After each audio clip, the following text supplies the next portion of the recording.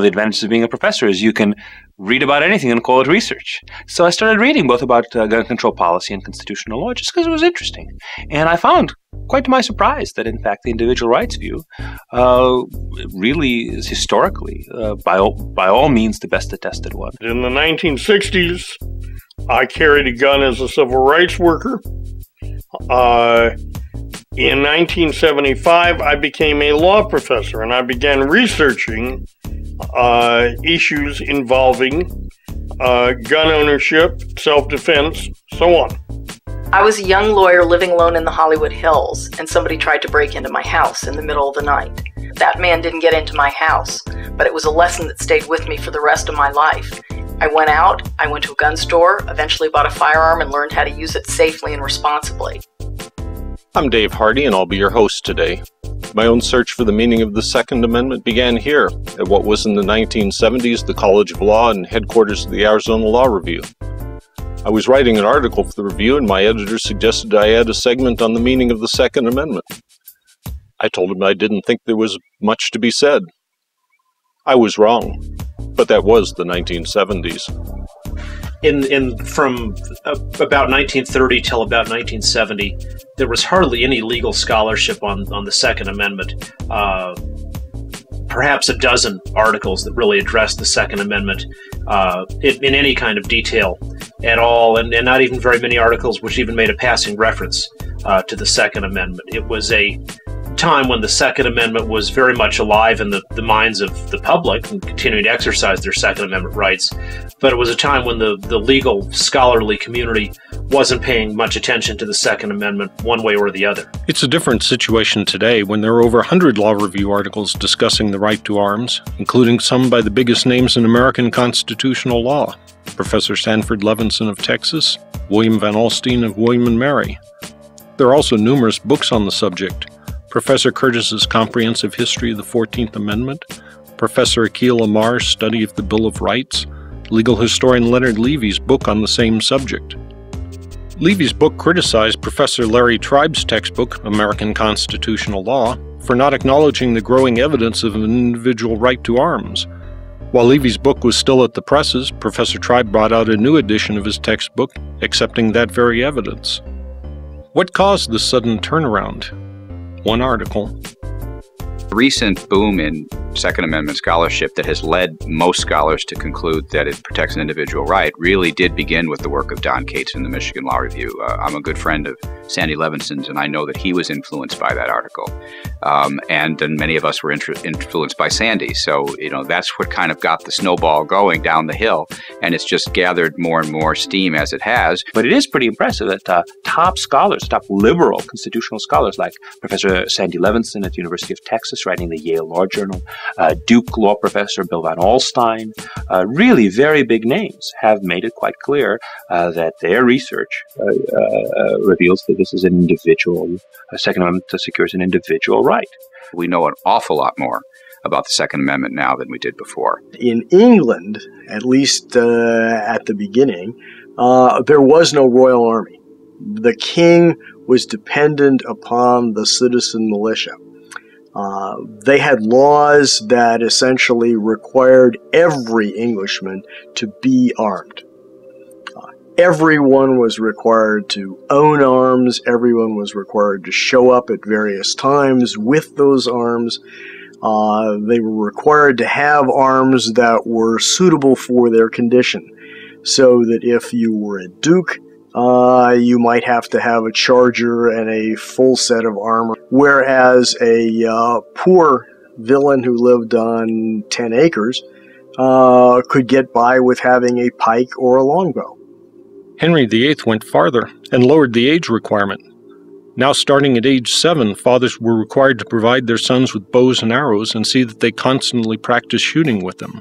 Every man having a man child or men children in his house shall provide, ordain, and have in his house for every man child being of the age of seven years and above, until he shall come to the age of seventeen years, a bow and two shafts, to enthuse and learn them, and bring them up in shooting, an act concerning shooting in longbows, 1511. By the end of Henry's reign, early firearms known as harquebuses were in common use.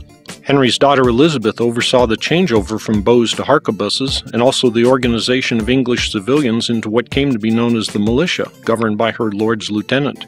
The Calendar of State Papers, the official index of government documents for a reign, shows her council demanding reports on the militia and on what every Lord Lieutenant was doing to promote harquebus ownership and shooting.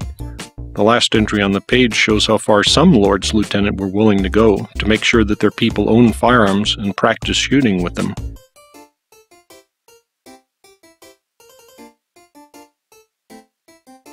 But how did the duty to have arms come to be seen as a right to have them? We asked Professor Joyce Malcolm, a fellow of the Royal Historical Society and whose book on the subject was published by Harvard University Press. She found that the change arose out of the chaos of 17th century England, when conflict arose between King Charles I and his Parliament. In 1642, civil war broke out between king and parliament. King Charles was eventually captured and beheaded. His sons, the future Charles II and James II, fled to France, and England came to be ruled by Oliver Cromwell's military dictatorship. Oliver Cromwell, who was the most successful general throughout the Parliament, took over and ruled by himself for some years. And when he died, his son came to the uh, to power, but there was just chaos. And eventually, out of desperation, uh, the English people uh, formed a kind of parliament and asked the uh, heir to the Stuart throne, Charles II, to come back and rule. Charles II came back to a country that was really well armed by an army that had executed his father. He was naturally very anxious. He had very few guns at his own command. And so he, uh, through the Privy Council, through his own council, uh, instituted controls on uh, gun makers. They had to report every Saturday night um, to the uh, government what guns they had produced in the course of the week, um, who had bought them, uh, there were controls on importing weapons. There were licenses if you wanted to move weapons around the countryside. You had to get a pass to do that. And then there were a, a series of orders to disarm all sorts of people who he felt were um, likely to be opponents or had been opponents in the past. So there was a lot of disarming that went on, and then there was this effort to really control the guns that were being manufactured in the country. One of the acts that the new parliament of royalists passed was the Militia Act of 1662. And this act actually gave militia officers, who were country gentlemen of the right sort, power to disarm anyone that they felt was likely to be an opponent of the crown. When the Militia Act was first passed, it was the orders about disarming were very rigorously followed. So when there were, you know, fears of a plot to overthrow the king or have an uprising, orders would go out to the lieutenants general in the different counties to disarm potential opponents, and they actually did it. But I think after a while, year after year of these alarms, uh, they began to be rather tired of, of this exercise. In 1671, Parliament passed a Game Act, which was actually um, a far broader control of the ownership of firearms than England had ever had before. It was meant uh, ostensibly to allow a gentleman on his own property to um, make sure that only he and equally privileged people were able to hunt game.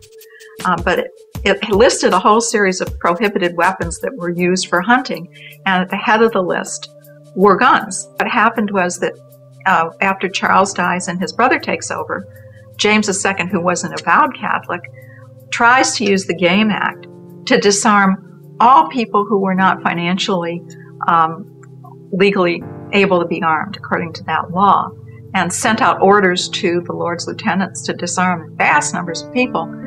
And that does not seem to have happened at all. So it doesn't seem to have been um, carried out, but it did frighten people.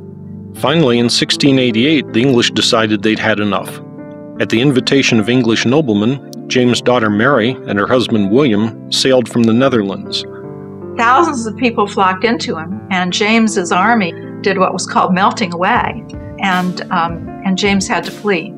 So there was a new king and queen, and in order to sort of regularize their position, because James was still alive and claiming to be king, a convention parliament was called, and the convention parliament decided that they needed a Bill of Rights to reaffirm all the rights that they felt had been imperiled by James II. It wasn't the complete panoply of rights, but the rights that they felt needed bolstering. And in order to tie the new king to an obligation to abide by those rights, the same statute that elevated William and Mary to the throne contained these rights, the Charter of Rights uh, that they claimed were their ancient and indubitable rights. And one of these was the right for Protestant subjects to have arms for their defense, suitable to their condition and as allowed by law. We know about the deliberations of this convention parliament that discussed the need to have what they called a new Magna Carta uh, through the records of Lord Somers, who um, chaired it, and through some of the other members who kept diaries. Somers' notes show quite clearly that arms seizures under the Militia Act were a major topic of debate while the Declaration of Rights was being drafted, and even that some members of Parliament complained they had personally been targets of the arms confiscations. So by 1688, the medieval duty to be armed had been changed in English thought to a right to be armed.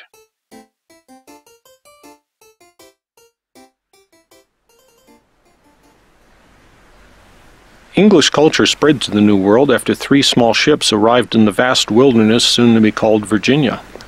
The colonists who sailed knew they were entering a hostile environment. They faced raids from rival French and Dutch colonists, not to mention the ever present danger of Indian attack. It's not too surprising that their arms laws were even stricter than those of early England. Some laws dictated what arms and ammunition each colonist was expected to bring with him when he came to the New World. Others required each colonist to carry arms whenever he was in a place that might be vulnerable to attack. Some of the early colonies insisted that people who went outside of the colony to the fields to farm, to church on Sunday, had to actually carry their weapons with them. There's this very famous painting of the pilgrims going to church with their weapons. Uh, but actually, it was uh, legislation in colony after colony. They all instituted a militia. They all instituted requirements for householders to be armed. One statute provided that every male inhabitant shall always go armed, including to church or any other place. And uh, that was not limited to the militia because there was really no age group. I think adulthood was probably implicit in it. As the colonies grew, the laws went beyond mandating individual arms ownership and carrying. Historian Clayton Cramer explains The instructions given to colonial governors by the uh, royal government are very clear. You're to go ahead and organize militias, and they did. Uh, Pennsylvania is the last of the colonies to go ahead and create a mandatory militia. And all of the others, almost from the beginning, there are laws that require that um, free white men own guns. In some cases, even free black men are required to, to own guns. Uh, there are laws that require a head of household to have guns for all of the uh, members of the militia that are in in the uh, in the household. In a few places like Maryland, the law is explicit: his, hers, or theirs. So they're saying that uh, women are required to own guns if they are the head of household, and there are men within their household who are members of the militia. Beyond the legal requirements, the colonists collected guns for the fun of it. As this ad in the Virginia Gazette shows, men like Patrick Henry were always on the lookout for a good gun. Colonial governors, of course, had the best opportunities with entire armories at their disposal. Rather than letting the guns rest in storage, some of them used them for interior decoration, as shown at this recreated governor's palace in Williamsburg, Virginia. But the colonists were not the only ones who enjoyed firearms. Uh, eventually, uh, most colonies began to realize that uh, two things happen when you make guns more readily available to the Indians. Uh, one of them is that they um, become quite dependent on Europeans for gunpowder. Uh, it does not appear that the Indians ever quite figured out how to uh, make gunpowder. there's one moment, one point in the uh, in the 1630s, uh, uh, a couple of English girls, 11, 12, 13, something like that, are kidnapped by one of the Indian tribes who seem convinced that all of the Europeans know how to make gunpowder. And they're very disappointed to find out that these two little girls had absolutely no idea how to make it. Apart from the duty to bear arms and the pleasure they took in owning them, the colonists knew that as Britons they had the right to arms. To confirm that, they had only to open the second most popular book in America, the first being the Bible. William Blackstone's great treatise on the common law, written in the 1760s, was extremely widely circulated in the United States, and, and Blackstone, really the probably the most influential legal commentator ever ever to write in English, or maybe ever to write in the known solar system in any language, uh, talked about the the right to arms as one of the uh, rights uh, that are possessed by all English subjects, and he explained that it was not only for it was for security, but it was especially for their right to resist against tyranny as a last resort. That that was the main purpose of the right uh, was to per- so that the, the people in the community, every one of them with their own firearms, could per- could overthrow a dictatorship in, in the, the last resort if none of the other uh, checks and balances in the English system worked. For a century and a half, the American colonies were treated with benign neglect by the home government. This had the usual result of governmental neglect. They prospered. Then in the 1760s, the British leadership decided to make the colonies a paying proposition for the home country, and relations quickly declined. A large detachment of British troops was sent to occupy Boston, and things went downhill from there. In 1768, the Redcoats came to Boston. Um, when they were, the colonists became aware, um, they were extremely um, upset. Um, the main patriotic newspaper at that time, the Boston Gazette, published uh, alarming um, anticipations of what could happen, including that the inhabitants were going to be disarmed, that uh, colonists were going to be taken to England to be tried, uh, not with a jury of their peers. So uh, when, when the Redcoats arrived, they were uh, quartered among the people and what took place um, murder, robbery, rape. They really were, to some extent, a criminal uh, organization. Reports of increasing conflict between troops and civilians were circulated by Patriot committees of correspondence and reprinted by newspapers throughout the colonies. The articles announced that the local residents were arming themselves in self defense against the Redcoats' criminal tendencies. The committees of correspondence cited the 1689 Bill of Rights and the colony's militia laws as proof that they were within their rights in arming for self preservation. They also invoked Blackstone's reference to the right to arms as security against a day when the sanctions of society and law failed to protect against oppression. Just when you think nothing could go wrong, it often does. The British establishment in the colonies was about to have a series of such experiences. First, General Gage had spies in Boston, and they tipped him off that the colonists were creating an enormous arms dump, complete with artillery, in nearby Concord. On the night of April 18, 1775, Gage sent a column of troops to destroy the supplies. Their march led them through the town of Lexington, where they confronted a small body of American militia. A shot went off. No one knows who fired it. Could even have been an accident.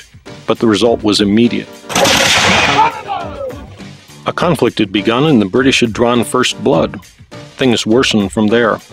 The British column moved on to Concord, where it found the supplies and also several thousand angry militiamen outside the town. When the British began to burn the supplies, the militiamen thought the British were burning the town and attacked. The British were forced to retreat, and the retreat became a 15 mile running battle as still more militia turned out to intercept them. By the time the Redcoats got back to Boston, they'd suffered nearly 300 casualties.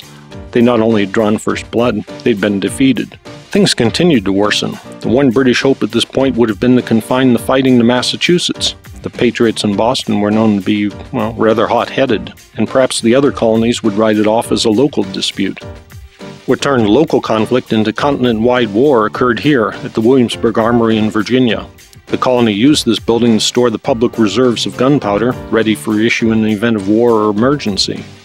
Late on the night of April 20, 1775, a group of British sailors crept through the town and broke into the armory. They'd been ordered by Lord Dunmore, the royal governor, to grab the powder and take it aboard ship. Word of Lexington had not yet reached the colony, but Patrick Henry had been pushing the legislature to strengthen and ready its militia, and Governor Dunmore thought seizing the powder was a wise move. It wasn't. The Virginians were outraged. News of the armory raid was still spreading when news of the fighting at Lexington arrived. Raids on militia supplies in both North and South suggested but one conclusion the British were moving to disarm all the colonies. The largest colony in the South was driven into alliance with the most powerful colony in New England. The fight outside Boston had become an American revolution. But even as the armies fought, there was a bit of legal housekeeping to be done.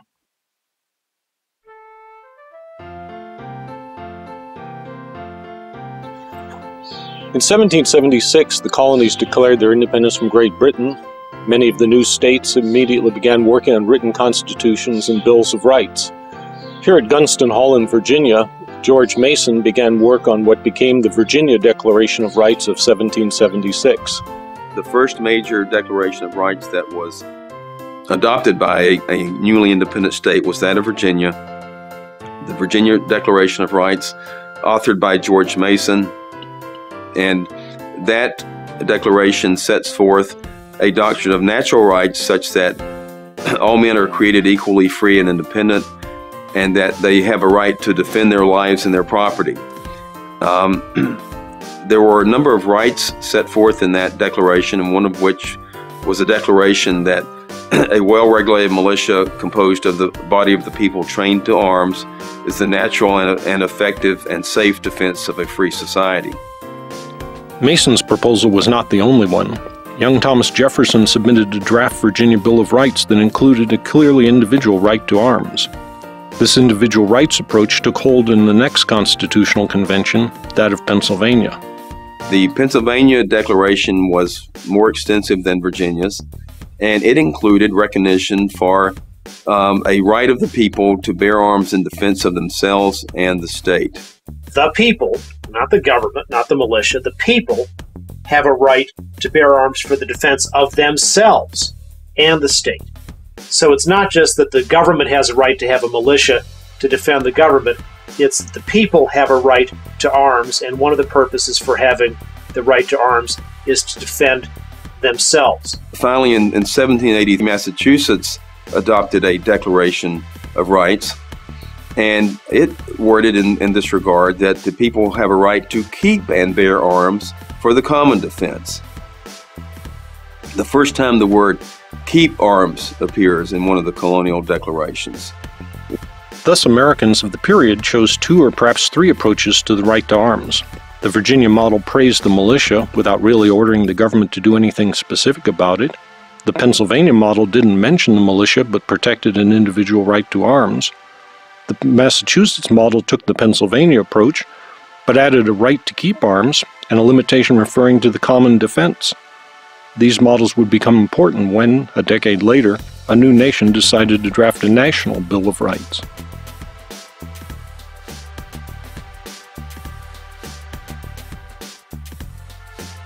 Initially, the colonies were organized under the Articles of Confederation, a very loose organizational structure. For example, each state got an equal vote in Congress, and it took a two thirds majority to raise taxes, form an army, or do almost anything worthwhile.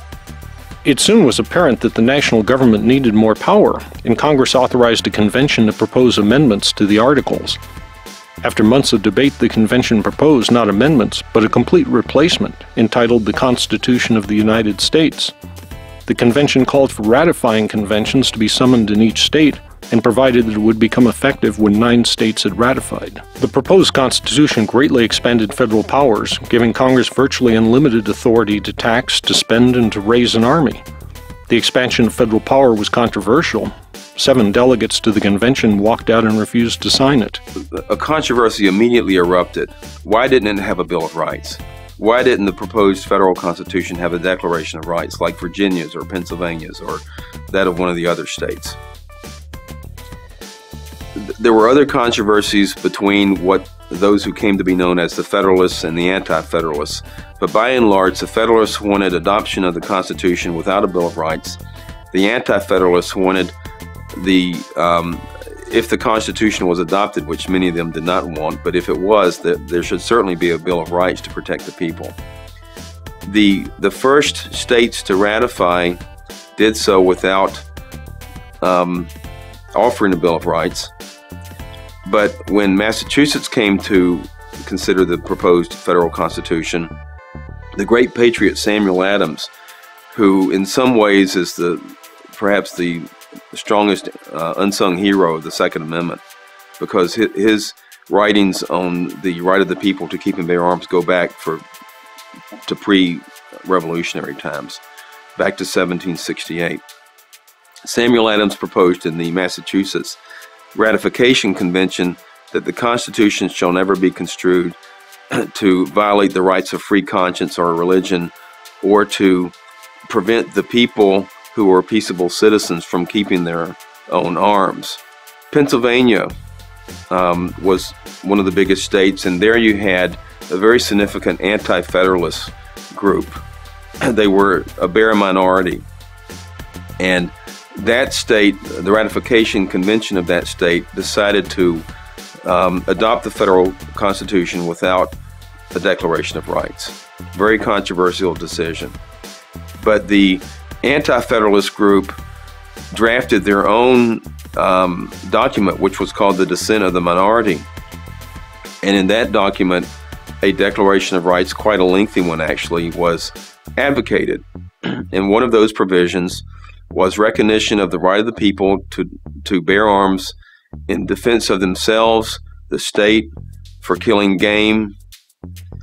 Um, and the provision there was also that no person could be disarmed unless they had been they had done something to forfeit that their that right, like been in actual rebellion.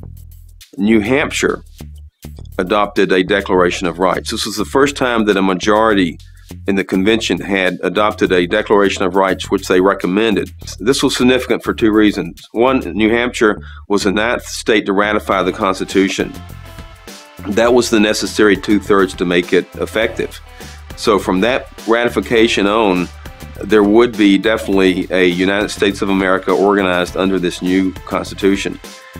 but New Hampshire was also the first state where a majority of the delegates recommended a, a Declaration of Rights. And once again, you have the proposal, among others, there were three individual rights, as I recall, that were recommended free speech and press and religion, and the right of the peaceable citizens to, to bear arms.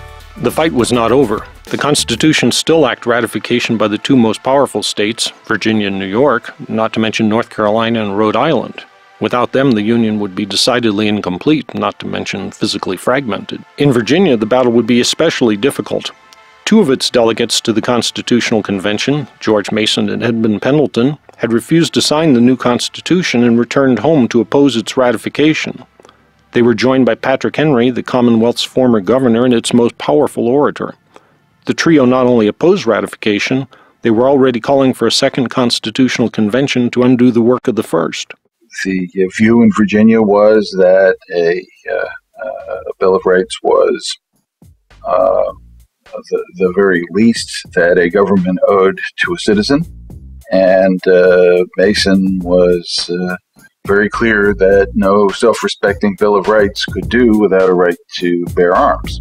In the Virginia ratifying convention, delegates heard both Patrick Henry's soaring oratory. The great object is that every man be armed.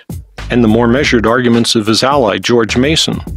Although Mason was a strong supporter of the militia system, he now saw threats to that system as a means to a worse end disarmament of the entire people by the new government.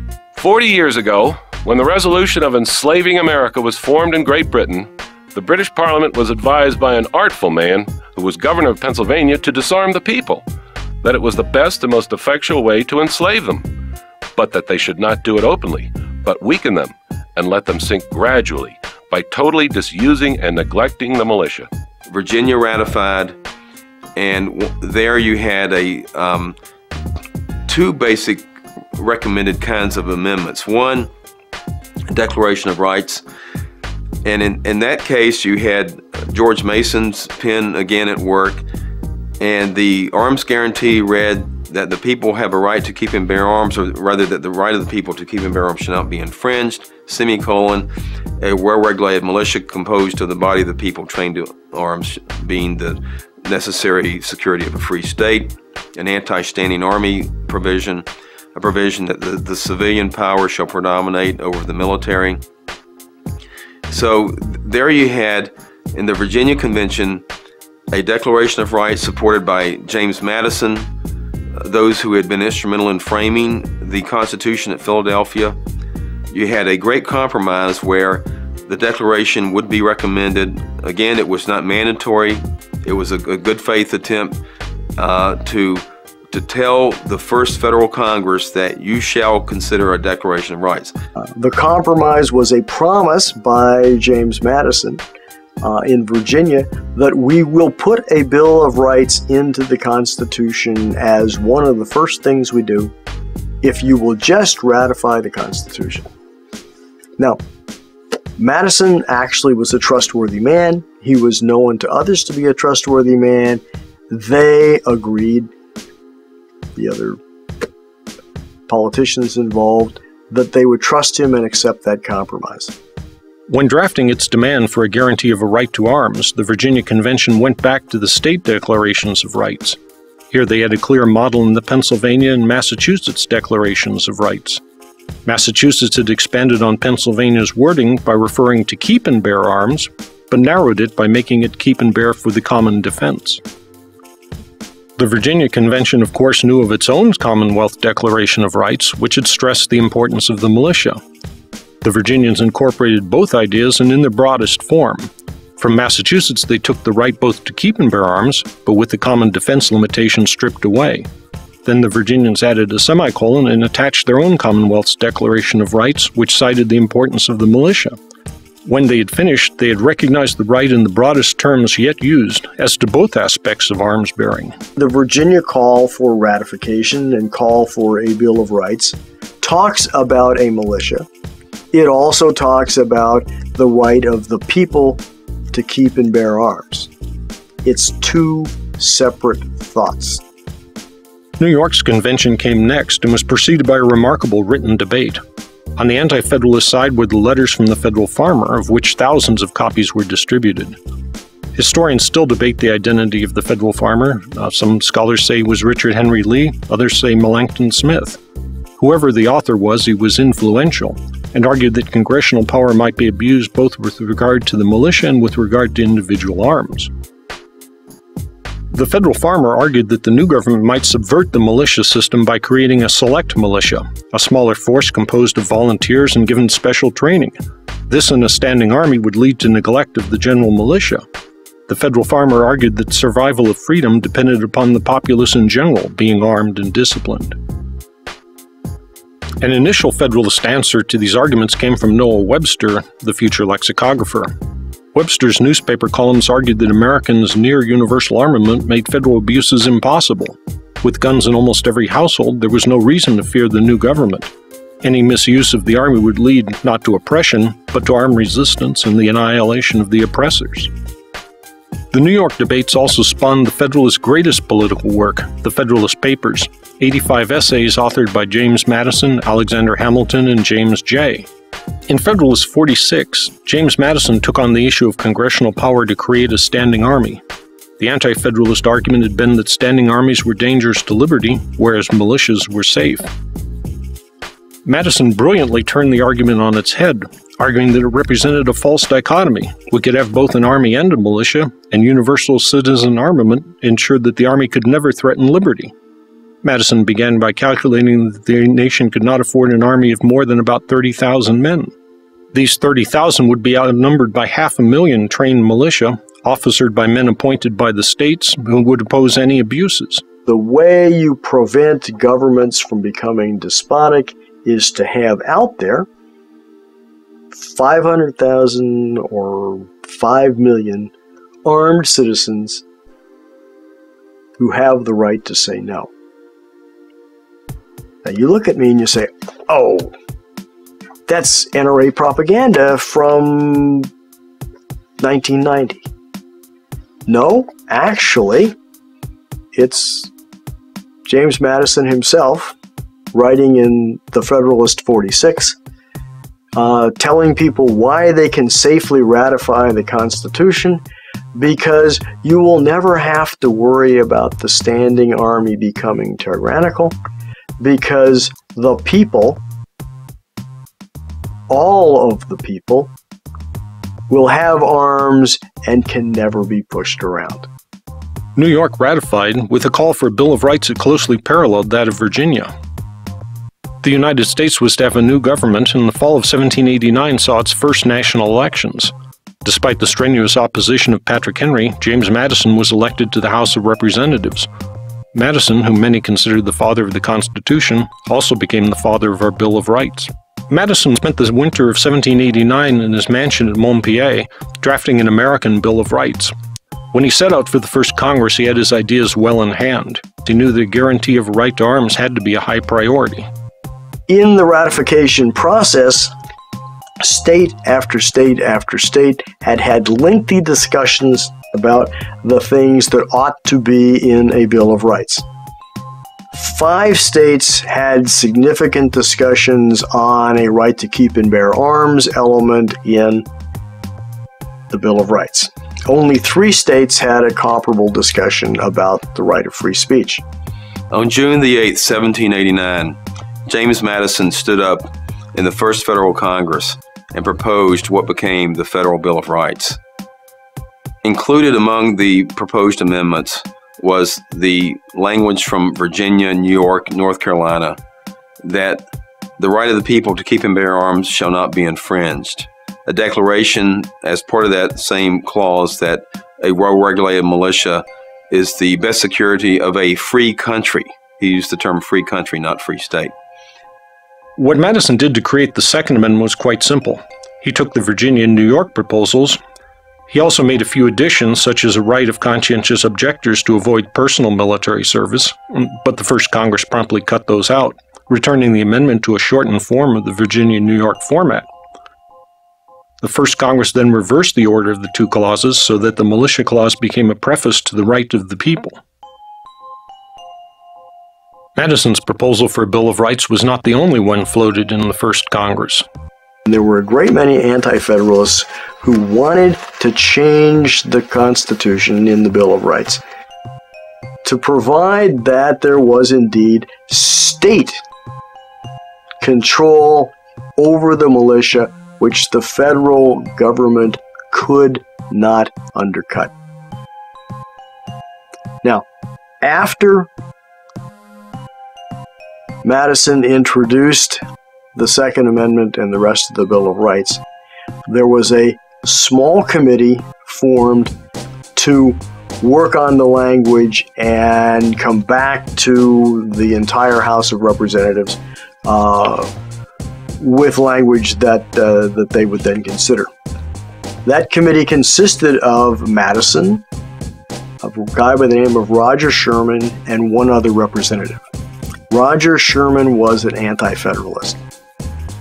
Now, we know now, but we didn't know for 150 years after the Constitution, uh, the Bill of Rights was ratified, that Roger Sherman had written his own version of the Bill of Rights, that he had written a version of the Second Amendment that is exactly the exclusive states' rights version that the Ninth Circuit hopes the Constitution means. Uh, and if he wrote it out and he spent that much time thinking about it, he must have presented it to the committee that he was a member of, which we know turned it down because the language that went to the House of Representatives is essentially the language that we see today in the Second Amendment. The First Congress did one more thing of importance. While we have no record of the debates in the First Senate, we do have the Senate Journal, which lists motions made and votes taken. In the Senate, which kept better records, uh, there was a motion made to put into the Second Amendment the words, You have the right to keep and bear arms for the common defense. So, what does the Senate do? It rejects it, passed in the negative, which is 17th century language for it failed. There's additional evidence of how the amendment was understood at the time from the writings of a prominent Federalist author. Starting in, in 1787, Madison and Tench Coxe had, had worked as allies together in the cause of, of building public support uh, for the, the ratification of the Constitution. They'd ex- exchanged letters, and Madison had, had complimented Coxe on his work, tried to have it ensure that Coxe's work uh, was reprinted in Madison's home state of Virginia, and you know praised Coxe for his efforts. And this was really the, the building of a uh, a lifelong alliance. Uh, Coxe would eventually serve uh, in the Treasury Department uh, in, uh, in, the sub cabinet of, of uh, Madison's Treasury Department when Madison became president uh, over two decades later. In 1789, U.S. Representative James Madison proposed what became the, the Bill of Rights as amendments to the Constitution, and Coxe, as usual, was out of the box very early in support of Madison, and he wrote something that was probably the, as far as we know, the most comprehensive clause by clause analysis of that the Bill of Rights that was available to the American public during the ratification period when the state legislatures were considering whether to adopt the various parts of the Bill of Rights. One of the leading Federalist writers, Tench Coxe of Philadelphia, um, published under the pen name A Pennsylvanian an explanation of these proposed amendments. And for what became the, the Second Amendment, he offered the following explanation that as civil rulers will not, uh, as civil rulers may tyrannize over the people and may use standing armies to oppress them, the people are guaranteed by this article in their right to keep and bear their private arms. So you have not only the literal language of the Second Amendment as proposed, the people have a right, but uh, which arms were they? They were private arms, the, the arms belonging to the people. This was reprinted throughout the colonies. It was printed on a special um, front page of a special July the 4th issue in, in uh, a Massachusetts newspaper. And uh, James Madison wrote Tench Coxe a, a, a, nice letter, a thank you note, basically, saying that I appreciate your support and um, your explanation of these amendments will have a healing tendency. The, the healing tendency meaning the fact that um, um, the, the anti federalist trust needed to be regained so that they would support the new government. Uh, likewise, there are there were leading commentators, both in the late 1700s, writing about English constitutional tradition, and throughout the 1800s, writing about uh, uh, the U.S. Constitution, including Justice Joseph Story, Supreme Court Justice, the leading constitutional commentator uh, of the 19th century. Uh, Michigan Supreme Court Justice Thomas Cooley, the leading constitutional commentator of the late 19th century, Sir William Blackstone, uh, the leading English legal commentator, was very influential on the framers uh, in the in the uh, late half of the 18th century. All of them treated the right as an individual right. St. George Tucker was originally famous to the American people as one of the great war heroes of the American Revolution in Virginia, but he became much more significant in the long term in American history for the tremendously important legal treatise he wrote. Uh, James Madison was a guy who thought very highly of, of St. George Tucker and his legal work. In fact, Madison appointed uh, Tucker to the uh, federal courts as a judge in 1813, uh, where, where Tucker served until 1827. But what Tucker was probably most enduringly famous for was writing an American edition of Blackstone. Blackstone was the, the great foundational treatise of the English common law. But now that America was an independent country, it was time for a treatise which showed how the American law was developing and how it was differing from English law. Uh, Tucker has, forever after, been seen as really one of the, perhaps the best source of the original intent and early interpretation of American Constitution and, and of early American law. He's been cited by the United States Supreme Court over 40 times. Here's what uh, Tucker wrote uh, about Blackstone's exposition of the right to arms as it existed in English law. He put him, Tucker through in his own footnotes and explained how that applied to the United States. And he said, The right of the people to keep and bear arms shall not be infringed, and this without any qualification as to their condition or degree, as is the case in the British government because Blackstone had said that the British right to arms was for Protestants only, and there were also things in there about their qualification and degree. And then in, in Tucker's appendix, he elaborated more on, on the American Second Amendment and, and the rest of the Constitution. The Second Amendment, he said, may be considered as the true palladium of liberty. The right of self defense is the first law of nature. In most governments, it has been the study of rulers to confine this right within the narrowest limits possible. Wherever standing armies are kept up, and the right of the people to keep and bear arms is, under any color or pretext whatsoever, prohibited. Liberty, if not already annihilated, is on the brink of destruction. Tucker's American Blackstone was the, the leading American constitutional treatise until 1825 when there was a new book published uh, by a guy named William Rawle uh, called A View of the Constitution of the United States of America. Rawle had been a, a member of the Pennsylvania legislature that had ratified the, the Second Amendment and the rest of the Bill of Rights. Uh, George Washington asked, liked Rawle so much he asked him to serve as the first Attorney General of the United States. And Rawle turned that down, but he was appointed by Washington as United States Attorney uh, for Pennsylvania. Here's what his treatise said about the Second Amendment. It said uh, it is declared that a well regulated militia is necessary to the security of a free state, a proposition from which few will dissent. Although in actual war the services of regular troops are confessedly more valuable, yet while peace prevails, and at the commencement of war before regular force can be raised, the militia form the palladium of the country. The corollary from this first position is that the right of the people to keep and bear arms shall not be infringed. The prohibition is general, no clause in the Constitution could, by any rule of construction, be conceived to give to Congress a power to disarm the people. Rawle is one of the typical 19th century commentators who says, sure, a militia is very important, and here's why. And because of that, because a militia is such a great thing, that's why the right of the people to keep and bear arms is so important. The most influential legal author of the late 19th and early 20th centuries was Thomas Cooley. He served as a judge on the Michigan Supreme Court from 1864 to 1885. He was Republican and would have been appointed to the Supreme Court because of his outstanding and well recognized legal mind, but the Republican presidents of the time were uh, somewhat afraid of his uh, well known uh, streak of legal independence. He was uh, called the nation's elder statesman on matters of constitutional law and the greatest authority on constitutional law in the world. Uh, from his 1880 book, The General Principles of Constitutional Law, and this is where he goes into the most depth on the right to keep and bear arms. The right is general. It may be supposed from the phraseology of this provision that the right to keep and bear arms was only guaranteed to the militia, but this would be an interpretation not warranted by the intent.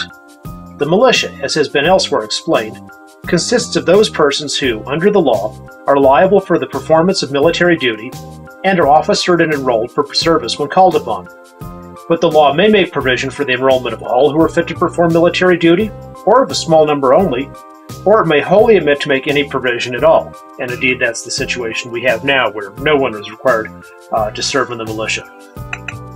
And if the right were limited to those enrolled, the purpose of this guarantee might be defeated altogether by the action or neglect to act of the government it was meant to hold in check. The meaning of the provision undoubtedly is that the people, from whom the militia must be taken, shall have the right to keep and bear arms, and they need no permission or regulation of law for the purpose. But this enables the government to have a well regulated militia. For to bear arms implies something more than the mere keeping. It implies the learning to handle and use them in a way that makes those who keep them ready for their efficient use. In other words, it implies the right to meet for voluntary discipline in arms, observing and doing so the laws of public order. You have statements made immediately before the Second Amendment is proposed, while the Second Amendment is being considered, and immediately after the Second Amendment is being considered, each of which reflect the understanding of the Speaker that the amendment protects an individual right. What you don't have, what you don't find in the historical record, is a single example of any contemporary at the time at the Second Amendment was drafted referring to it as anything other than an individual right. Not one. Uh, throughout the end of the 1700s, throughout the 1800s, up to the early 1900s, the uh, right to bear arms was universally understood as an individual right. There's virtually no authority for the, for the states' right proposition during that era.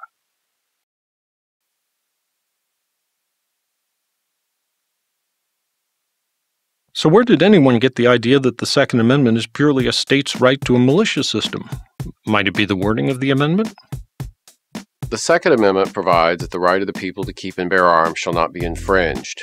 Uh, the big dispute is over whether that means an individual right. Uh, other provisions in the Bill of Rights use the same term, the right of the people. Uh, for example, the First Amendment talks about the right of the people to peaceably assemble. The Fourth Amendment talks about the right of the people to be secure from uh, unreasonable searches and seizures. Nowhere in the in the in the Constitution is the word is the term the people used in a way that could possibly refer to uh, state governments. In the Tenth Amendment, uh, the states and the people are specifically distinguished.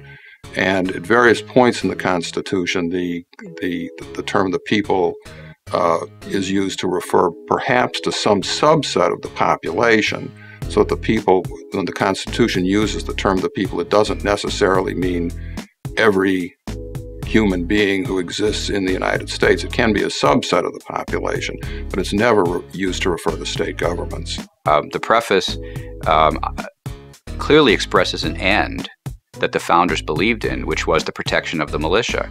And so far as I'm concerned, what that means is even if today we don't agree that this general militia consisting of the able bodied population is a good thing to have armed, we have hardwired into the Constitution an affirmation of its importance. That is, a well regulated militia is essential to the security of a free state. So there's the end. A lot of people today, they don't agree with that end, but that end is in the Constitution. Then the question is, by what means is that end protected?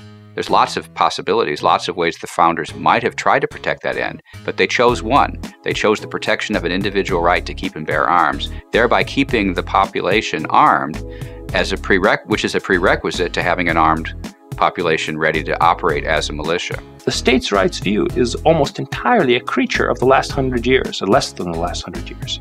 That uh, throughout all the time from the framing to the early 1900s, individual rights view was the orthodox, conventional, and unquestioned understanding. So, where did the idea of a collective right originate? There had been a mention of a states' right position in an obscure 1842 Arkansas decision, State versus Buzzard, but that was the position of one judge only. Neither then nor later did the entire Arkansas court accept it, and it largely faded from memory. Then in 1905, a 53 year old rancher named James Blaksley ran afoul of the law in Salina, Kansas. He was charged with possessing a gun while intoxicated in violation of a city ordinance. He was convicted and fined a dollar plus court costs. Blaksley got an attorney and appealed his case. It ultimately came before the Kansas Supreme Court. He argued that it violated his rights under the Kansas constitutional right to bear arms, and the government prosecuting the case said no, it doesn't, because there's various regulations that are allowed on the carrying of guns, and actually regulations on concealed carry had a very long history in American law, so the government had a plausible position. Nobody in the case argued that the Kansas right to arms in its state constitution is a nullity, that it doesn't even exist for any practical purpose. That was something, however, which the Kansas Supreme Court uh, decided to invent without being asked to do so in this 1905 case. Now, Kansas has a constitutional right to bear arms, as does almost every other state. And this right to bear arms is contained in the section of the Kansas Constitution called Bill of Rights. Everything in the Bill of Rights is a right, and it belongs to individuals. Now, the rather notable thing about this dishonest decision in Salina v. Blaksley was the Kansas Supreme Court couldn't cite any authority for its position. They cited two main authorities for their theory. The first one was a very famous criminal law treatise by a guy named Joel Bishop on criminal law. But what they did was was pull a few words of his out of context. Is quite clearly uh, examining Bishop's text in full shows that he believed the Second Amendment was an individual right. And then the other thing they did was pull out a 1896 uh, Massachusetts case in which the Massachusetts court interpreting their state constitution uh, said that even though you have a right to arms, the government can prohibit mass armed parades in public without a permit. Now, saying that there's no right to have a big armed parade in public without getting a permit from the government is hardly the same as saying you have no right at all to possess a gun in your own house under any circumstances. And yet, that's what the Kansas Supreme Court dishonestly cited the Massachusetts Murphy decision to mean. So, other than those two fraudulent citations, the Kansas Supreme Court had no authority for its decision in Salina. And decades later, the Kansas Supreme Court, to its authority, to, to its credit, uh, didn't formally overrule Salina and say it was wrongly decided, but they, in essence, did that because they returned to treating the Kansas right to arms as an individual right belonging to individual Kansans. The problems don't end with the historical. Federal law still defines all men of military age, and some women, as the unorganized militia of the United States. Most state laws track this, and in fact, some states go farther and include all women of military age as well. Even a right restricted to militiamen, as defined by current law, would still be a broad right. To get around this, some advocates of a collective right claim that it only protects the state's right to control its National Guard. Hmm, that just creates more problems. For one thing, the National Guard didn't legally exist at the time the Second Amendment was being drafted. In fact, the National Guard was created by a 1903 law, which was expanded in 1933. A look at the congressional debates show that both the supporters and the opponents of the system indicated they did not understand the National Guard to be the militia, but only part of the militia that is, the part which had volunteered for special federal duty. Under those laws, the militia remained all males of military age, with the Guard merely the organized part of it. The framers wouldn't have considered the National Guard a militia at all. Uh, the framers didn't like standing armies because they were not the whole citizenry. They were rather a small body of citizens uh, with exceptional loyalty to the king. In the same way, the framers would have regarded uh, the National Guard is what they called a select militia, which they regarded as little better than a standing army. The virtue of the militia was that it embodied the citizenry as a whole, and smaller subsets, uh, like the National Guard, just don't possess that virtue. But if the collective rights view was unknown to the framers and invented by a state court a century later, why does anyone even speak of it? The story begins with the Supreme Court opinion that, paradoxically, rejected it. In 1934, Congress enacted the National Firearms Act, which essentially required registration of machine guns, sawed off shotguns, and a few other arms. Jack Miller, a Native American member of a predominantly Irish bootlegging gang, was caught with an unregistered sawed off shotgun and was indicted. His attorney moved to dismiss the indictment. The district judge, um, who had this wonderful name, Heartsill Ragon, uh, in Arkansas, quashed the indictment because, uh, in his opinion, and the opinion is very short, uh, the National Firearms Act violated the Second Amendment. Using a procedure which then existed, the government appealed Miller's case directly to the U.S. Supreme Court. When we checked in the clerk's archives, we found several interesting anomalies. For one thing, Miller's attorney had been given almost no time to prepare a brief or show up for oral argument. As a result, he did neither. In fact, he sent a telegram suggesting that the court consider the case submitted based on the government's brief. The government uh, was the only party that filed a brief. It was the only party that appeared at oral argument. So the court really got uh, only one side. In the Supreme Court's opinion, which is very short, the court said a couple of things. The court said that the Second Amendment has to be interpreted uh, in a way that makes possible the continuation and efficacy of the militia. They had historical uh, citations to literature which made clear that the militia at the time of the framing was comprised of all able bodied uh, free males uh, in the community who were expected to show up with their own uh, weapons. In fact, the National Guard was nowhere mentioned uh, in the Miller opinion.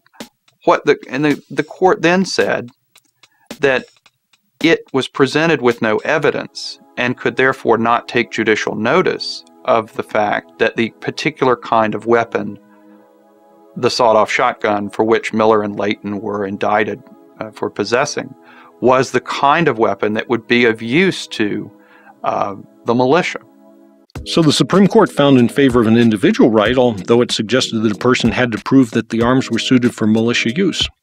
But when it did this, was the court aware of the Kansas Supreme Court's claim that the amendment only protected a National Guard type unit? Government put forth in its argument to the Supreme Court in Miller in 1939 a version of the so called collective rights argument.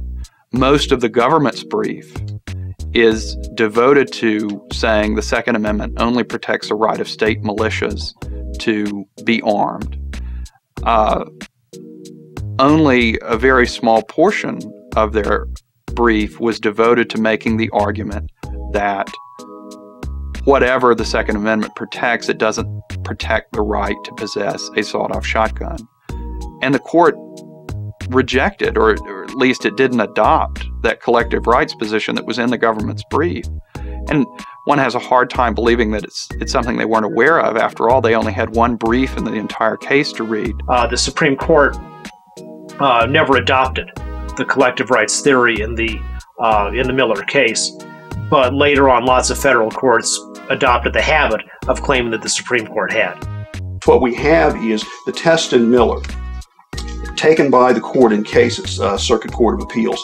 Uh, and the court finds the test in Miller unsatisfactory. The primary reason they find the court uh, the test in Miller unsatisfactory is that it would, in the view of the Circuit Court, the Miller test would protect too many firearms. That is, uh, if the test is simply could the firearm be uh, of some utility in uh, combat? Could the firearm be of some utility in the process of, of pursuing the uh, goals of the well regulated militia? Um, the court answers yes, and the court essentially acknowledges that a broad range of firearms might have some significant utility uh, for those purposes, and that the only things that might be excluded are uh, the you know the arcane cap and ball rifle or the arcane flintlock. Uh, the court finds that as a policy matter unsatisfactory and essentially abandons the Miller test. Well, that decision by the circuit court turns out to be the basis on which a number of the lower federal court decisions over the next 60 years uh, is grounded.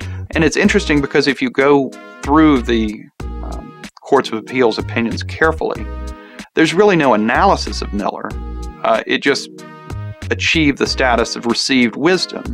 And sometimes they'll cite pages uh, to Miller uh, where this holding is supposedly uh, located. And if you go back and read Miller carefully, you see that there's nothing of the sort in the Miller opinion. Only recently, with a Fifth Circuit decision, in the Emerson case, have we found some judges really being willing to uh, focus very closely on all of the evidence and concluding that the right is an individual right. So now that the Fifth Circuit has held for an individual right and other circuits for states' right, now it may be that the Supreme Court will feel uh, compelled in the next several years to consider the issue because now it sees the split between the circuits, this disagreement among lower federal courts, that it will have to resolve on a national basis.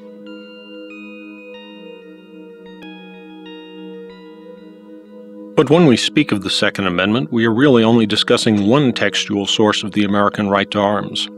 The other source is a much later 14th Amendment derived from the Afro American experience. In early America, it must be understood the right to arms, like rights to free speech and association, did not apply to everyone. There were the slave codes. And under those codes, a person who was a slave or an African American was prohibited possession of any kind of weapon, including firearms. As time went on, uh, you had slave revolts like that of Nat Turner and others, and a, a beefing up of the slave code provisions, including those which uh, deprived African American people of arms. The slave codes played a major role in what is probably the most controversial decision of the Supreme Court, and certainly the only one that started a war. The story begins with an elderly slave known as Dred Scott, perhaps it begins with Mrs. Scott, whom some historians suggest came up with the idea. Their legal theory was simple. By the Missouri Compromise and later congressional compromises, certain states and territories could allow slavery, whereas in others it was illegal. Starting in Missouri, a slave state, Scott's master had taken him to Illinois, a free state, and then in Wisconsin, a free territory, before returning to Missouri. Scott argued that by living for years in areas where slavery was illegal, he'd become free. The fact that he had later returned to a slave state could not undo his freedom. Dred Scott's lawsuit began with a simple X on a civil complaint, alleging that he and his family were now free.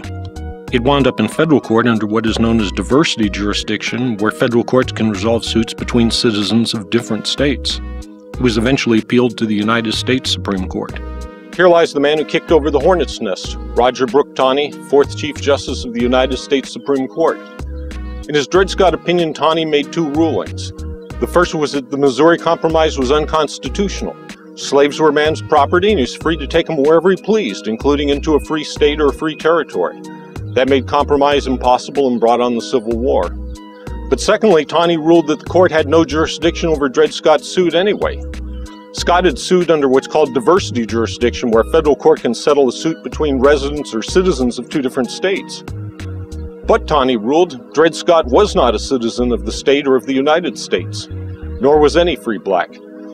He reasoned the framers could not have intended to give free blacks the rights, the privileges, and immunities, as he called them, of citizenship. And he listed what those rights would be, what they would have if they were indeed citizens of the United States. The U.S. Supreme Court held that African Americans could not be considered citizens, they could not be considered as having the rights of citizens of the United States. And what were those rights? In the Supreme Court opinion, the statement is made that if African Americans were citizens or had the rights of citizens, then they could have political meetings, they could have the right of free speech, and they could keep and carry arms wherever they went. The court's decision had some unintended consequences, beginning with the Civil War.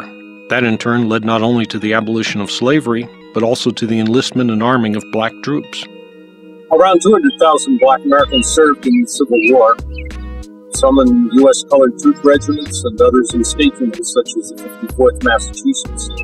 Many did not come home. Those that did came home with their muskets and their hopes, quickly found both taken away. Slavery was abolished by the 13th Amendment when the the southern states were defeated. However, they reenacted the slave codes. They called them the black codes.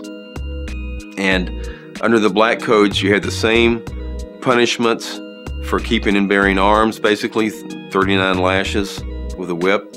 And you have the attempt by the southern states to enforce these black codes through the organized militias.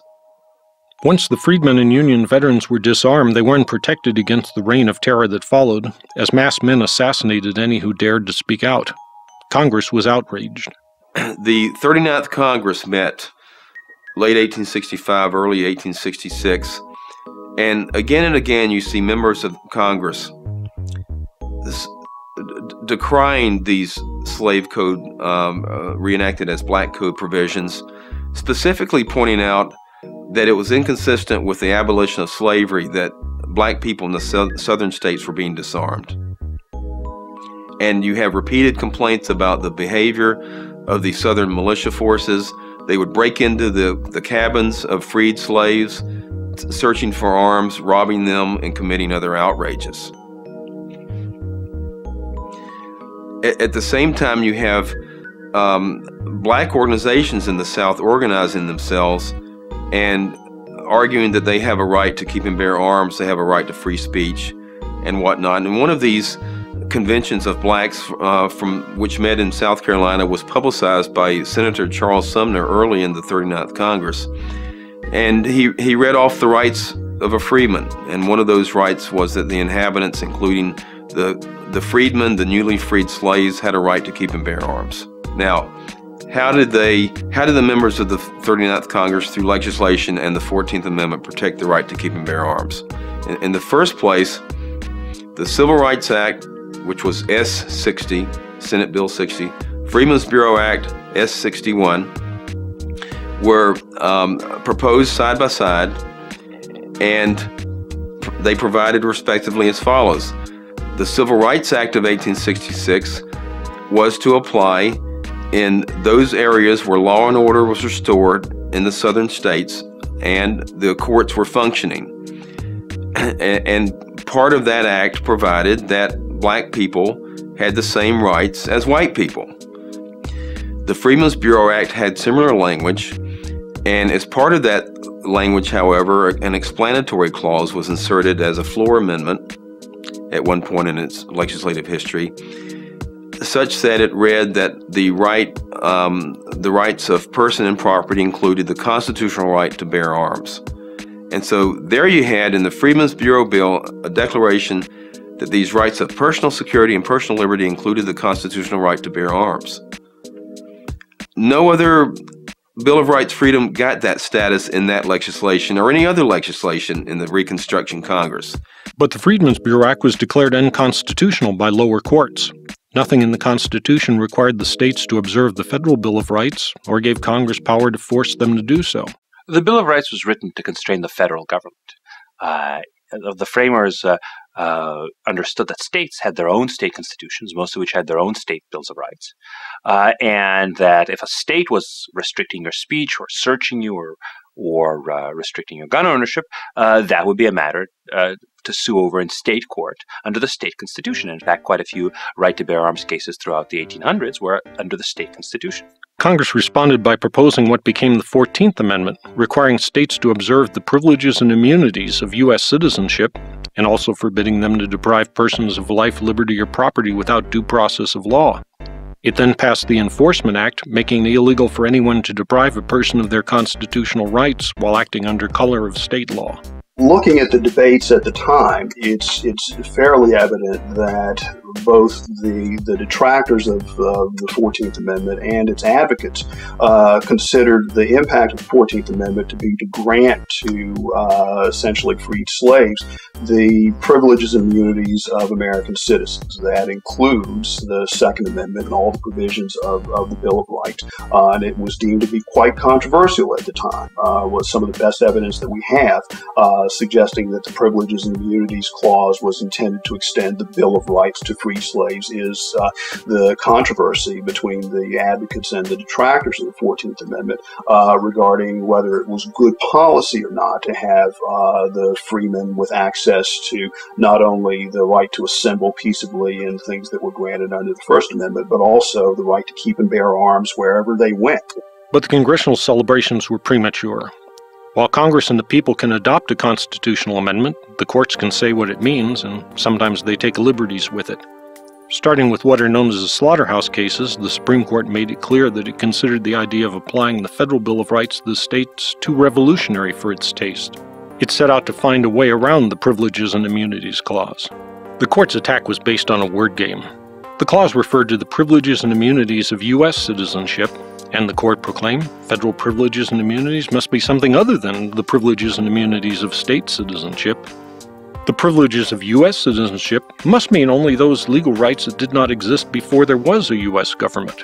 The court then proclaimed that freedom of speech and similar things were natural rights existing in all free societies, whether written down or not. Hence, they could not be privileges that came into being only when the national government was created, and thus they were not privileges and immunities of U.S. citizenship. Thus, the court argued that the very fact that a right was fundamental, essential to any free government, proved that it wasn't protected under the Privileges and Immunities Clause, and states could disregard it.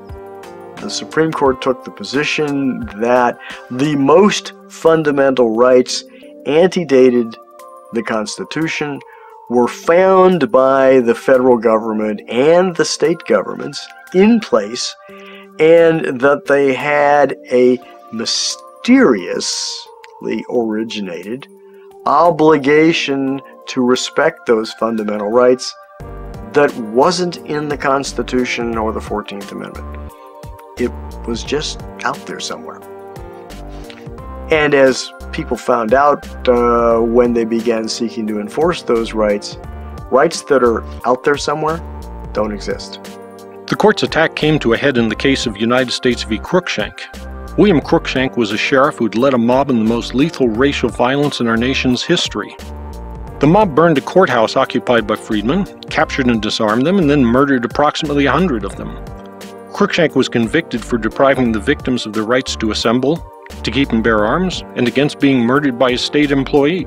The Supreme Court reversed his conviction, holding that rights to assemble, to have arms, and to live were rights under all free governments, may have been recognized by the U.S. Constitution but were not created by it, and thus were not privileges and immunities of U.S. citizenship. The decision was clear cut.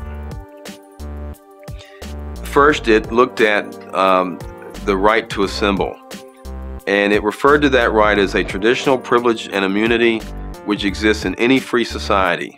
And then it goes on to say, in this opinion, the right to keep and bear arms is of the same nature this right was not created by the Constitution because it antedated the Constitution. It existed prior to the enactment of the Constitution, just like the right under the First Amendment to free assembly. And so that's a right that the uh, you have to look for justice when that right is violated by private individuals to your state and local authorities. 1876 is a significant year. It's the year that Reconstruction basically ended. The Supreme Court wasn't going to protect the rights of freedmen. the federal government was no longer going to protect those rights. And then we go into the Jim Crow era and into the area in which blacks were disenfranchised again and, and subjected to, at least in an informal sense, uh, to violation of their right to keep and bear arms and to other rights. The best or worst memorial of this regrettable period of history is found in our first feature length film, D.W. Griffith's Birth of a Nation. The disclaimer that Griffith ran at the beginning of the film was belied by the film's advertising posters, which reflected its real content. In his film, the Ku Klux Klan are the heroes and the freedmen are the villains. The one virtue of this appalling film is its historical accuracy. Initially, the Klan must stay underground, raiding only at night. But the freedmen fight back, resisting and ambushing the Klan. The freedmen's success, however, proves temporary. The leaders of the Klan hit upon a simple response, and Griffith invented the burning cross as a small rallying point for the Klansmen who carry out the orders. The disarming of the freedmen proves a success for the Klan, and it need no longer remain underground. Isolated assassinations are replaced by shows of massed force.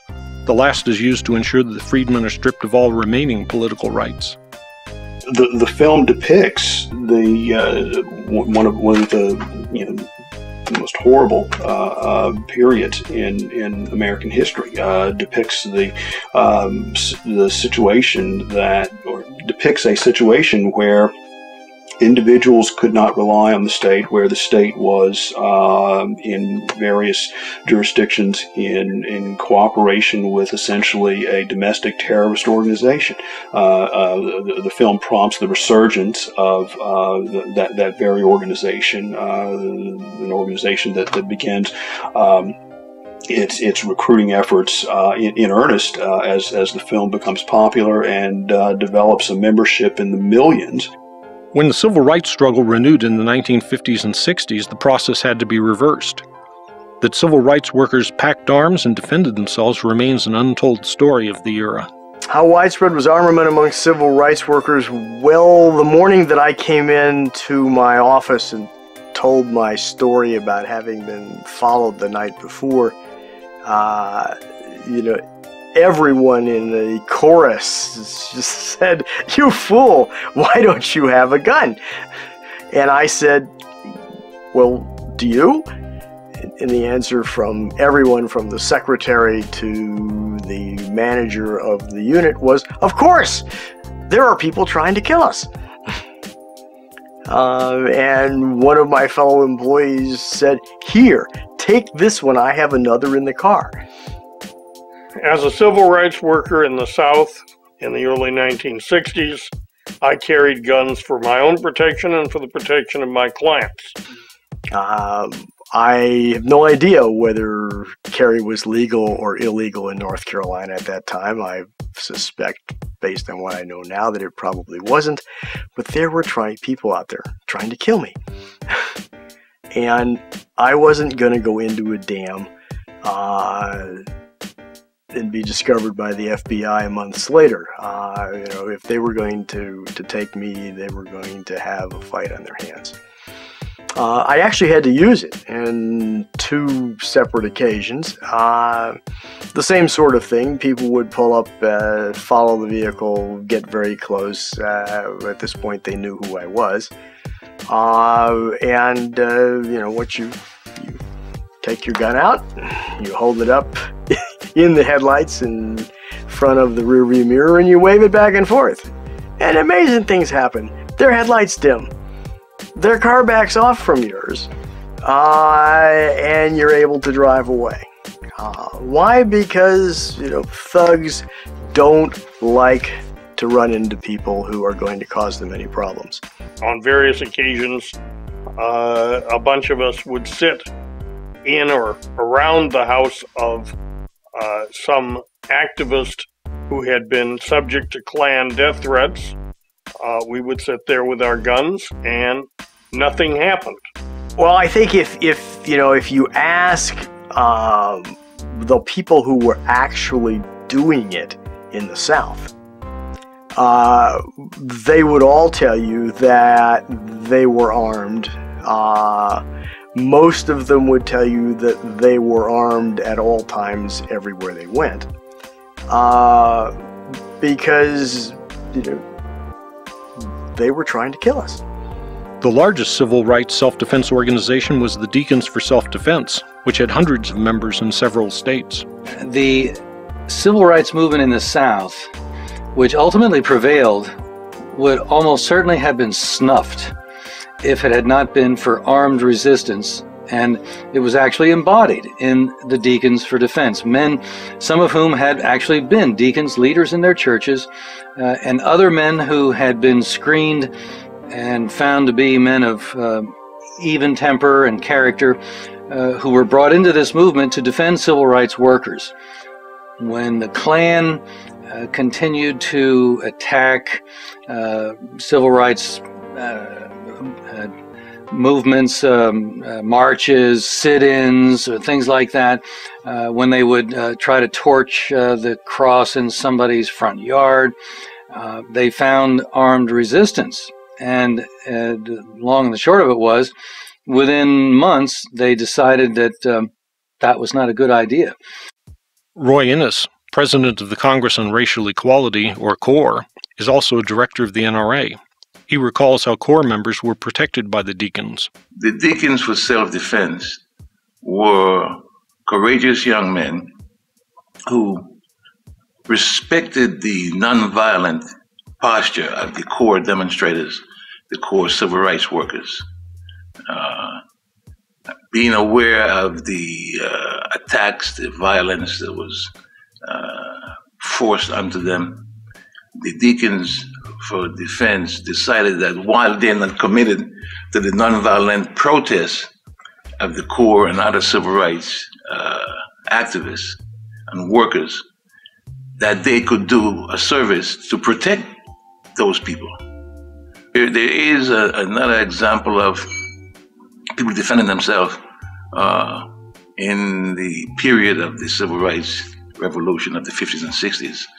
Uh, a fellow named Robert Williams in North Carolina, former member of the NAACP, broke away from the NAACP and uh, organized a group of young men to defend themselves against uh, rabid racists. Robert Williams was a civil rights organizer uh, in the Carolinas, uh, and he produced a uh, a black, an all black, or virtually all black chapter of the NRA uh, dedicated to defending civil rights uh, workers who were menaced by uh, Klansmen. He wrote a uh, book about this, uh, which was published I guess in the 1960s, that's when I read it. Williams' book explains how his NAACP chapter affiliated with the NRA and what resulted. Luther Hodges was governor at the time. We first appealed to him. He took sides with the Klan. Then we appealed to President Eisenhower, but we never received a reply to our telegrams. There was no response at all from Washington, so we started arming ourselves. I wrote to the National Rifle Association in Washington, which encourages veterans to keep in shape to defend their native land, and I asked for a charter, which we got. In a year, we had 60 members. We had bought some guns too in stores, and later a church in the North raised money and got us better rifles. The Klan discovered we were arming and guarding our community. In the summer of 1957, they made one big attempt to stop us. An armed motorcade attacked Dr. Perry's house, which is situated on the outskirts of the colored community. We shot it out with the Klan and repelled their attack, and the Klan didn't have much stomach for this type of fight. They stopped raiding our community. The following year, the same Klan unit organized a cross burning aimed at the Lumbee Indian tribe of North Carolina, some of whose members were dating or marrying non Indians. The president of Lumbee VFW organized a response, the rally was illuminated by a single light, and in the darkness beyond its reach, around 500 armed Lumbees encircled the rally. A shot extinguished the light bulb, and the Lumbees rushed in, shouting and firing into the air. The Klansmen fled in terror, and the Lumbee captured and burned their robes. The event captured publicity across the nation. State authorities convicted the Klan leader of incitement to riot, and he spent two years in prison. His organization never recovered from the blows dealt it by Robert William and the Lumbees. The 14th Amendment approach for an individual right to arms has attracted even more scholarly interest than the traditional Second Amendment approach. In 2003, the American Enterprise Institute hosted a symposium on the right to arms. Among the speakers were Professor Robert Cottrol of George Washington University Law School, Professor Sanford Levinson of the University of Texas School of Law, and Professor Akhil Amar of Yale Law School, probably our greatest living expert on the 14th Amendment.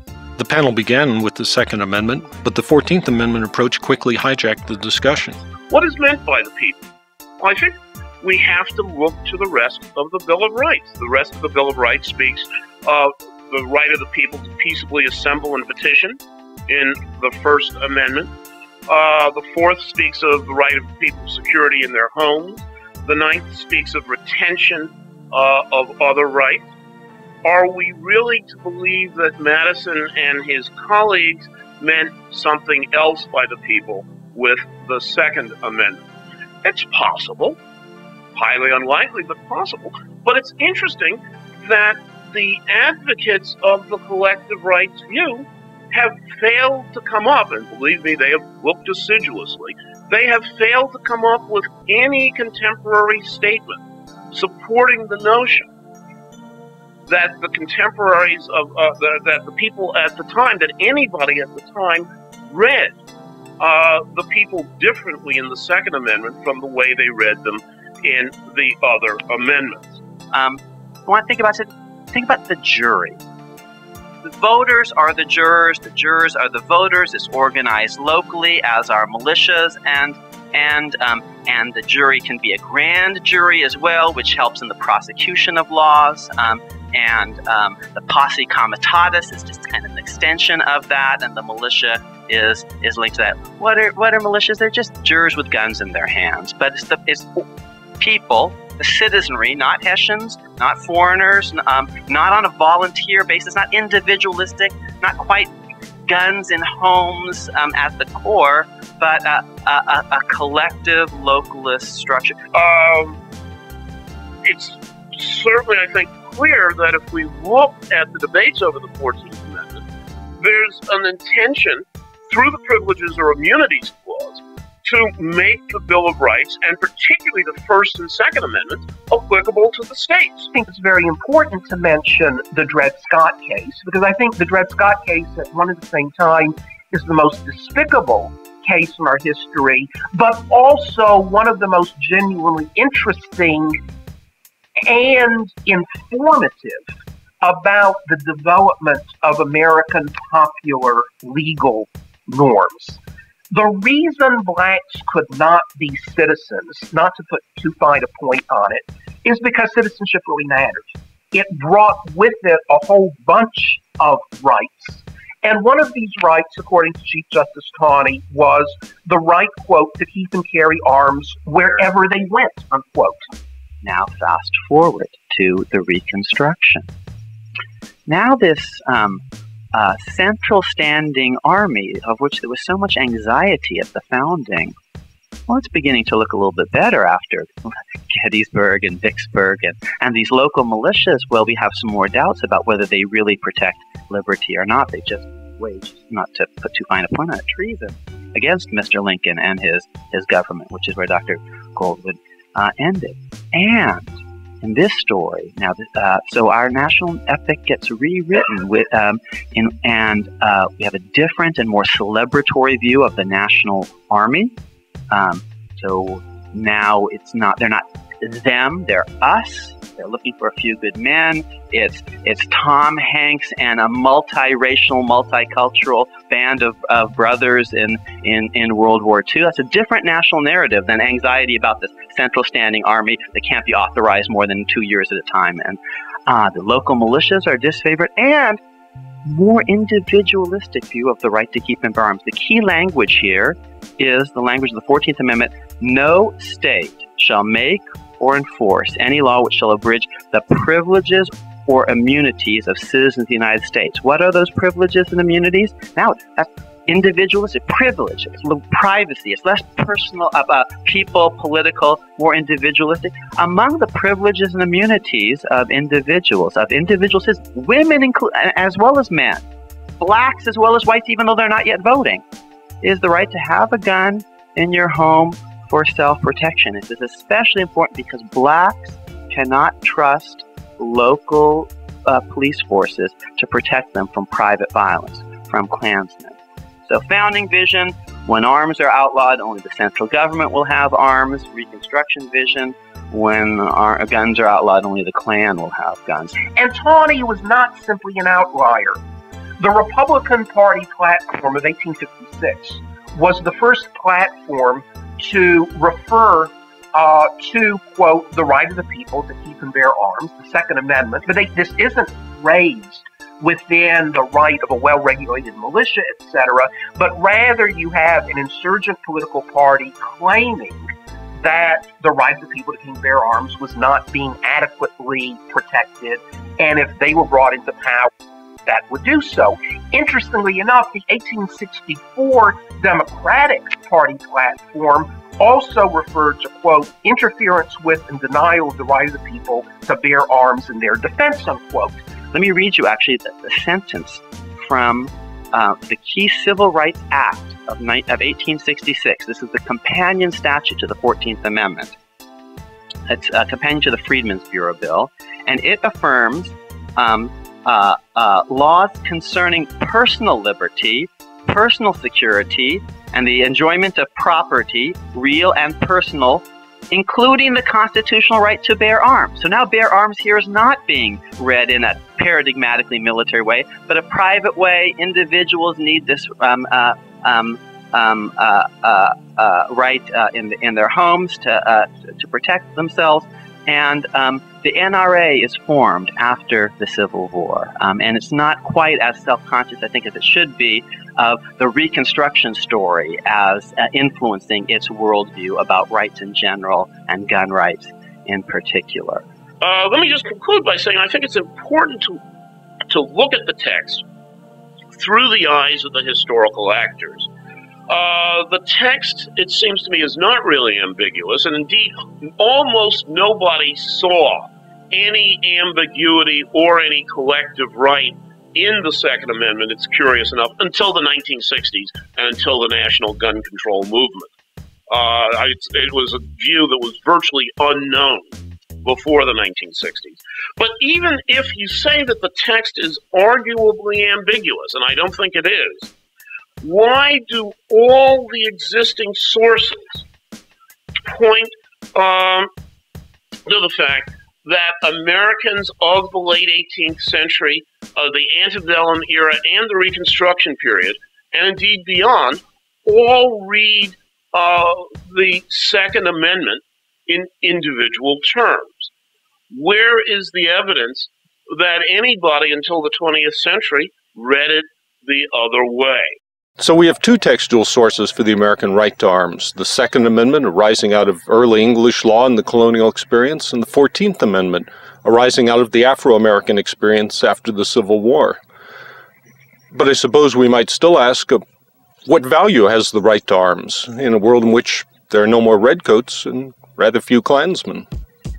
When you have an armed civilian population, a government that's tempted to engage in the kind of serious oppression that would uh, stimulate armed resistance is less likely to do so than if the population is completely disarmed.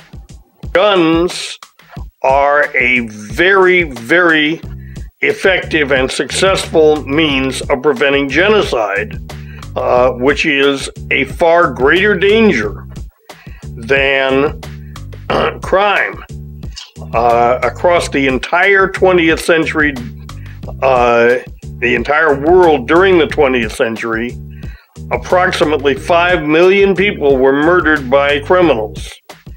261 million people were murdered in genocides.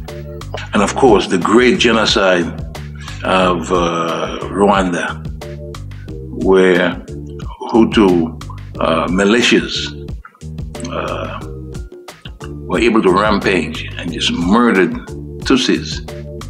And there'll be more of that as long as we have this crazy uh, program of gun prohibition. There'll be more of that. Where people are able to defend themselves and protect their homes, you don't get genocide.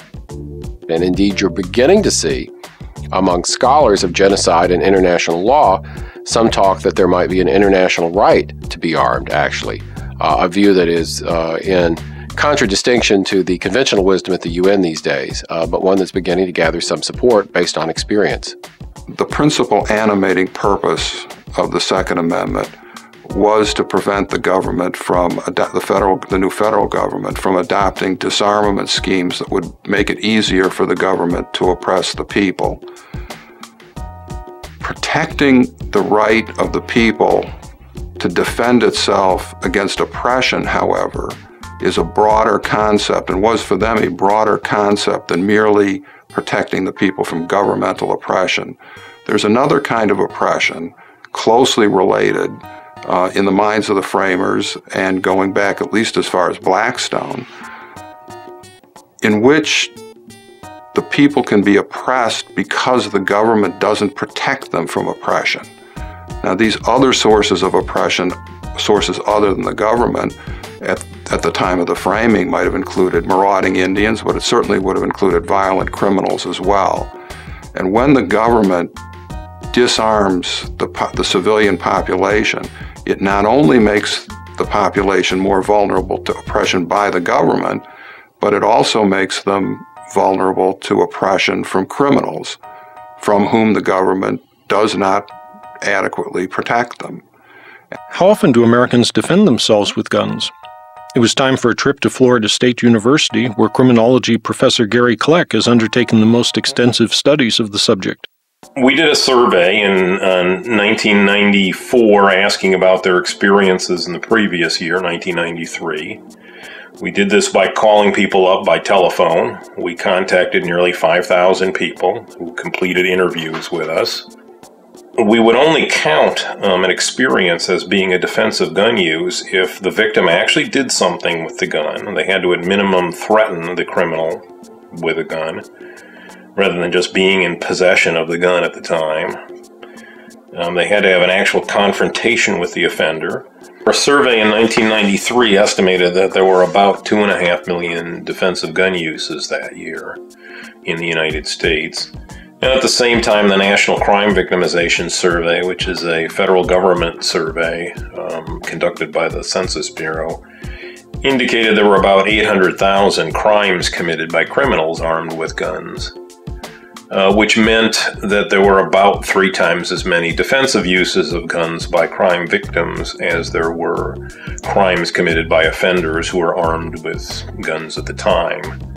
It'd be fair to say best available evidence indicated about three times as many defensive gun uses as offensive uses by criminals.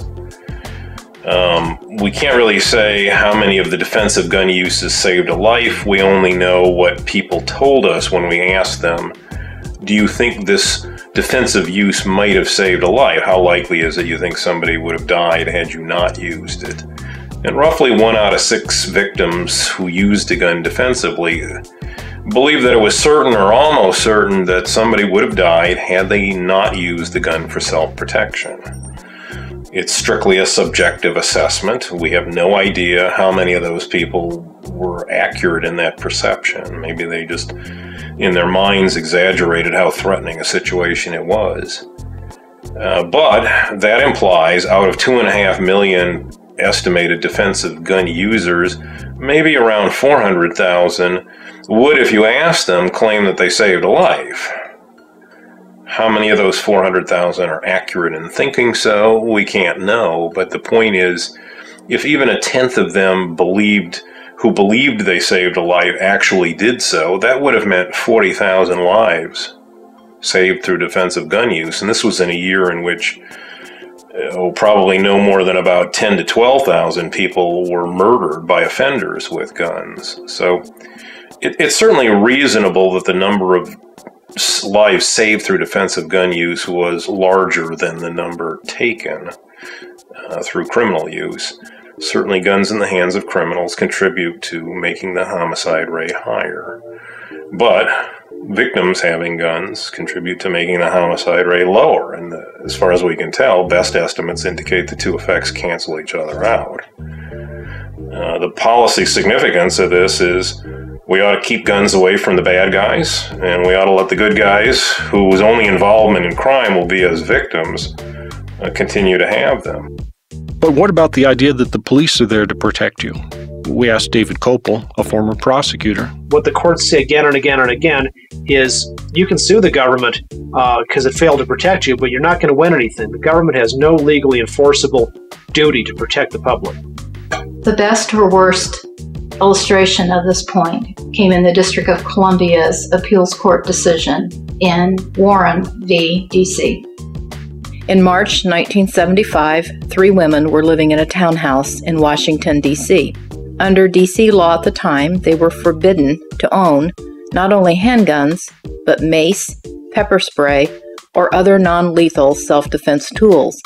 Late one night, a pair of thugs broke in and began beating and raping the woman who lived downstairs. Upstairs, the other women called 911 and were told police were being sent. As the court later acknowledged, the 911 dispatcher only reported a domestic disturbance at the address. The squad car that responded saw no disturbance, checked the door, and left. The women upstairs called 911 again and were again told help was on the way. This time, the dispatcher didn't even bother sending out a radio call. Believing their friend was dying, the women upstairs called down that the police were on the way. Instead of fleeing, the thugs grabbed them too, and, as the court noted with restraint, subjected the three women to a 14 hour nightmare of rape, beatings, and abuse. The women sued the District of Columbia and lost. The D.C. Court of Appeals ruled that the city had no legal duty to protect its citizens. Even when its employees had promised that help was on the way and then refused to send it.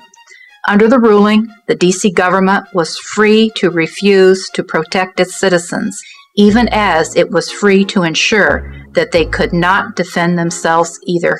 All those police chiefs and mayors and so on who say, uh, you don't need a gun, just rely on us. Uh, well, that's what they say for public consumption. But when somebody is raped because they called 911 and nobody responded, uh, or robbed or murdered, and the family sues the police, the police come forward with the statutes that exist in every state, which say the police are not responsible for protecting people. The insanity of this is that the DC government has passed laws which prohibits an individual from protecting themselves. But yet, as this court case points out, they have no legal obligation to come to your aid either. One of the interesting things about the gun control debate is that, in a way, it's sort of a litmus test for what people think about uh, their fellow citizens in general. Uh, my own sense is that uh, Americans uh, tend to respond well to crises and generally can be trusted to try to do the right thing. And we saw some uh, excellent examples of that uh, in the aftermath of the 9 11 attacks, for example, where although it got only a little bit of media attention, uh, people spontaneously organized themselves and evacuated over a million people from lower Manhattan by boat. Uh, some people have called it the American Dunkirk. Uh, it was orderly. People uh, didn't push, didn't shove, didn't throw the women and children aside to jump in the boats first or anything. Uh, and that actually is typical for how people respond in a crisis. Uh, in movies, people stampede and panic because that makes for a more dramatic movie. But in real life, people generally are fairly responsible. Uh, the same thing's true with responses to crime. My most recent published research uh, relevant to defensive gun use is uh, an article published in uh, the professional journal Criminology in the November 2004 issue. And it's addressed to the topic of defensive gun use effectiveness. It's not how often it occurs, it's is it effective and how effective is it compared to other things that crime victims might do to protect themselves. And that research indicates the most effective method of self protection crime victims have, the one that produces the lowest rate of injury and property loss, is defensive gun use. It's more effective than defensive actions without weapons that are forceful but without a weapon. It's more effective than armed self protection that doesn't involve a gun, it involves, say, a knife or some other weapon. It's more effective than uh, doing nothing at all, non resistance. So, of all the things that crime victims can do, on average, the one that produces the lowest rate of injury to victims and the lowest rate of property loss um, is defensive gun use. Thug sees a woman walking across a dark parking lot at night, I want him to be worried, wondering if that woman owns a firearm and if she knows how to use it. The founding fathers and the philosophers whom they uh, were influenced by regarded self defense as the most important uh, civil right or human right, as they would have put it, uh, and believed that the right to self defense included a right to arms, and that any government which sought to di- disarm its people did so for evil purposes uh, and was an evil government. That's where the Second Amendment comes from. Well, I think the Second Amendment is important for a number of reasons. It's first and foremost important because it gives, it provides, it protects the means by which individuals can defend themselves, both personally and collectively. And the right of self defense is one of the most fundamental of the natural rights or the rights, the background rights that people have. The Second Amendment protects our means of doing that. So that is one reason why it's extremely important. It's also important because any interpretive methodology that lets you disparage the Second Amendment into meaninglessness, which is basically the situation that we are currently in legally, um, allows you to disparage any of the other liberties that are protected in the Bill of Rights. Uh, the, if you can do to this, if you can do to an explicit right what's been done to the Second Amendment by what used to be the scholarly consensus, then you can do that to any liberty, and in effect, that means you've eliminated the Constitution as a constraint on governmental abuses. So that makes it very dangerous and even people who don't care about gun rights, and there's many of those around, should care about seeing that the Second Amendment is protected because by protecting the rights that they don't agree with, they are more likely to see the rights they do agree with protected from people who don't agree with them. All in all, the rediscovery of the Second Amendment and its purposes took about 30 years. The law school where I started my journey is now a construction site. Looking back at the old photos, Don Kates now has gray hair, so does Steve Halbrook. I have a little enough hair at all. Dave Caplan isn't with us anymore. He passed on a while ago. It's been a long journey. Thanks for letting me share it with you.